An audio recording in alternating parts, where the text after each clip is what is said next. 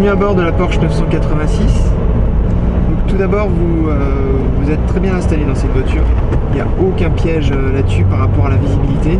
Grand rétroviseur, euh, pas d'angle mort, du moins très peu. On n'est pas, pas déstabilisé, c'est pas, pas du tout intimidant. C'est facile à prendre en main de ce point de vue-là.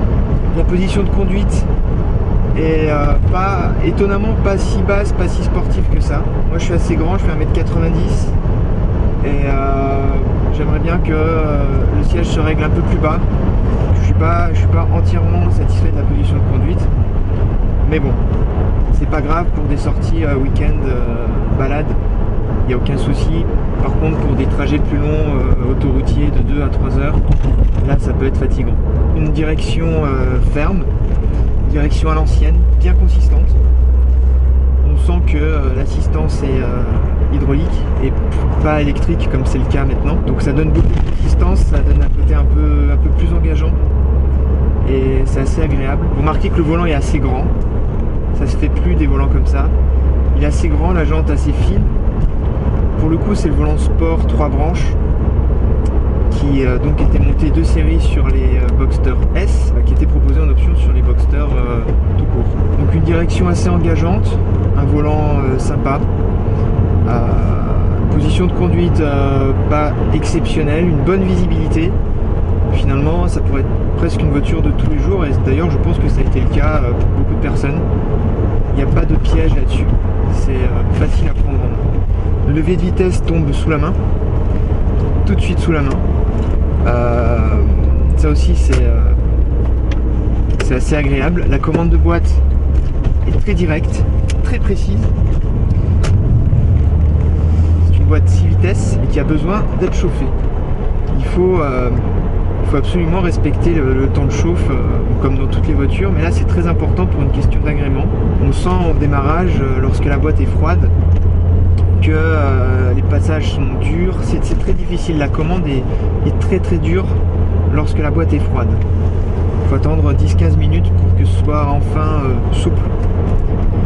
Donc ça aussi c'est assez engageant, ça met un peu dans un environnement euh, sportif. On sent que la voiture ne se laisse pas forcément dompter. En fait il faut la, il faut la respecter, il faut la conduire comme il se doit, mais, mais tout, en, tout en la respectant, tout en la maîtrisant.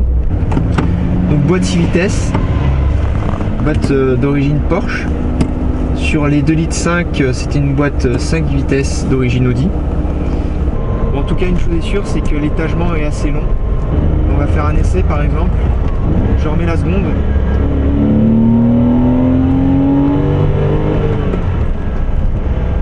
Voilà, je suis quasiment à 100, 100 km/h en seconde.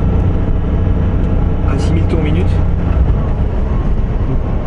dire que c'est assez long comme, euh, comme euh, étagement. Après, euh, ça permet de cruiser tranquillement. Vous voyez là, 80, 6ème. De cruiser tranquillement et le, moteur encaisse. hein. Le moteur encaisse euh, largement. On a 305 Nm de couple pour ce moteur, 3 litres 2 atmosphérique, 250 chevaux. Et ça permet, ça permet d'encaisser, voilà, de, de- cruiser tranquillement à bas régime. Vous voyez là, je suis à 75 km/h en 6ème, 70. Ça repart. Ça repart tranquillement en 6ème. Je pense que si on veut, on peut vraiment limiter sa consommation euh, avec cette voiture. On peut conduire tranquillement. Euh, le moteur le permet. Donne pas du tout l'impression de souffrir. Après, c'est un moteur qui s'apprécie euh, dans les tours. Qui s'apprécie à partir de 4000 tours minute. La zone rouge est à 7200 tours. Et euh, le couple maximum euh, est atteint vers les 4500 tours et la puissance maximum à 6500 tours. La plage d'utilisation euh, optimale de ce moteur, c'est entre, euh, 6000, euh, entre pardon, 4500 et 6500 tours. Et là, véritablement, on sent que le moteur se réveille. Il y a un changement de, tonalité, on l'entend. Il y a un changement euh, de comportement, ça monte tout de suite. Et ça, c'est dû au système VarioCam. qui va venir jouer en fait sur l'ouverture des soupapes et, et, qui va donc permettre d'optimiser les flux d'air et d'évacuation des gaz selon le régime moteur. Et donc ce système VarioCam fonctionne mécaniquement à partir d'un certain nombre de, tours minutes et donc va s'enclencher progressivement jusqu'à permettre une, ouverture maximum des, des, soupapes. Et ça, on le sent à partir de 4000 tours minutes et ça participe au double tempérament de ce moteur.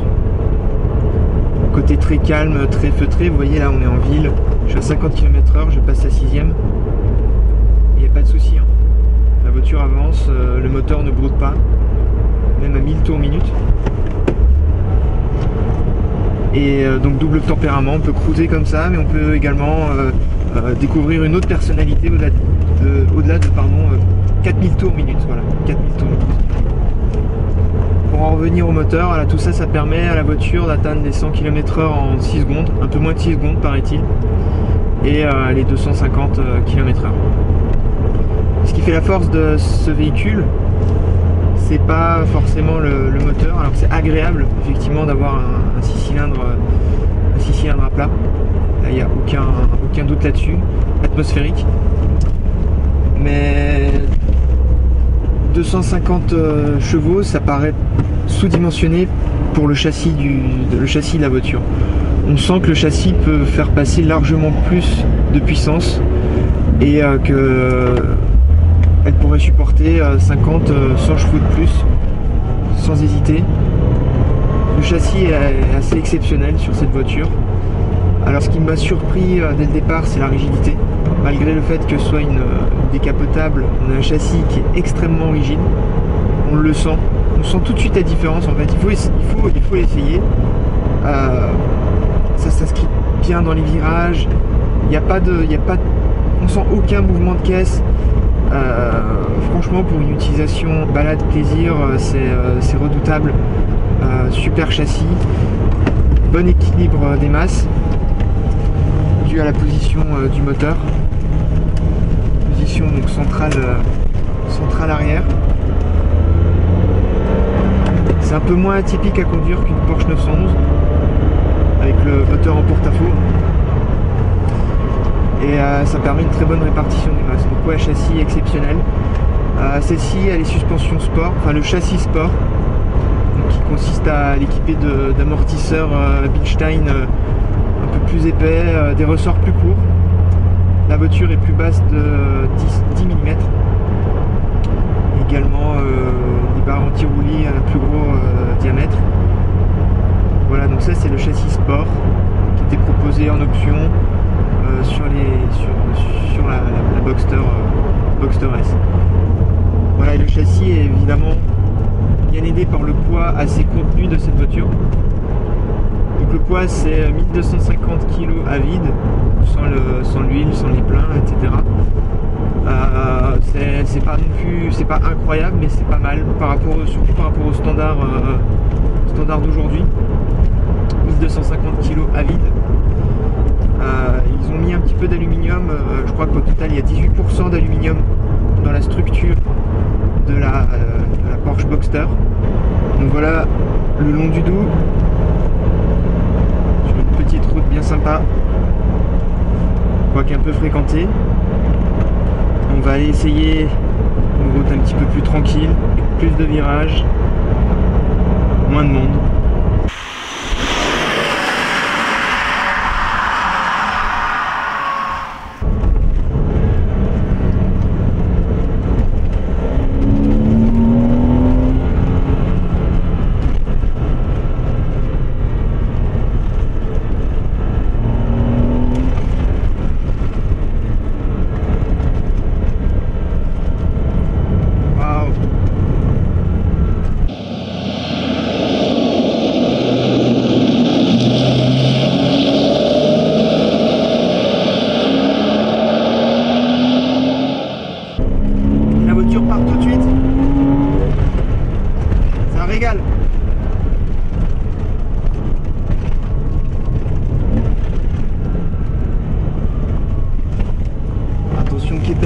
Allez, pied au plancher. Le châssis passe toute la puissance sans aucune hésitation. Elle met vraiment confiance cette voiture. Alors évidemment, il faut revoir ses basiques sur la répartition des masses, surtout au niveau du freinage. Parce qu'il y a beaucoup de poids quand même derrière. Ça change d'une traction. Bien guider la voiture, bien l'inscrire dans le virage. Et ensuite, vous laissez guider. Pied au plancher. Aucune hésitation. 6000 tours.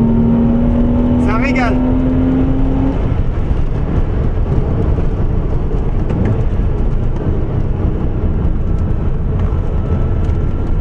Quelle souplesse. L'instant que vous avez appris qu'il fallait inscrire la voiture avec une pichenette de freinage, bien bien bien marquer le train avant. Dès l'instant que vous avez appris ça, vous pouvez tout faire avec. Allez, plein gaz. Ça adhère. Impossible à faire.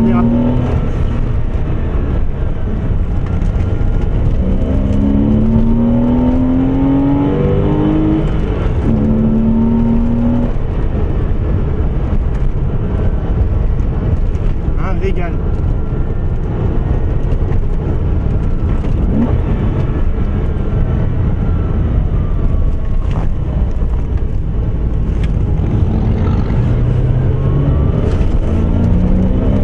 La route est défoncée à certains, certains endroits, mais elle reste stable.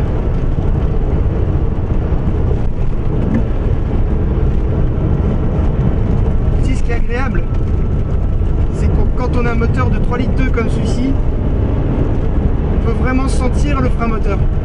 Donc on n'est pas obligé de freiner tout Parfois on rétrograde. On met un petit coup de gaz pour euh,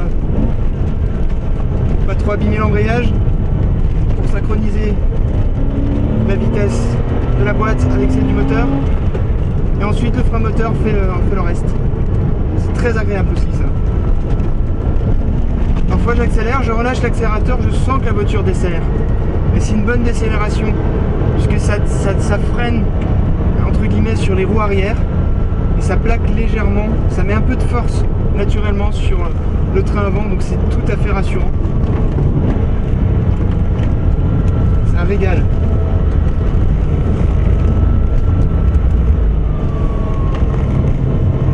Waouh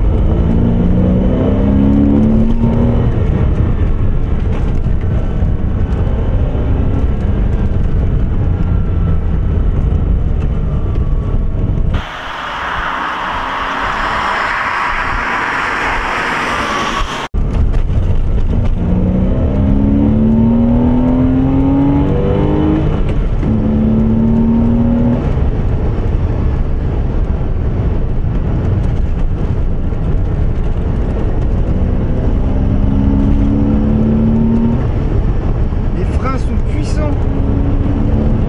On sent une consistance infinie. J'exagère à peine. Les freins ont peu de mordant. C'est assez surprenant au départ, surtout par rapport aux voitures modernes. Dès l'instant que vous appuyez à peine plus, vous sentez que ça freine. Vous sentez vraiment que ça freine. C'est le même système de freinage que la 911 Carrera. Donc autant dire que le système est assez surdimensionné par rapport au gabarit de la voiture et ça fait vraiment ses preuves. Là aussi, excellent freinage ça met en confiance. Une vraie voiture plaisir.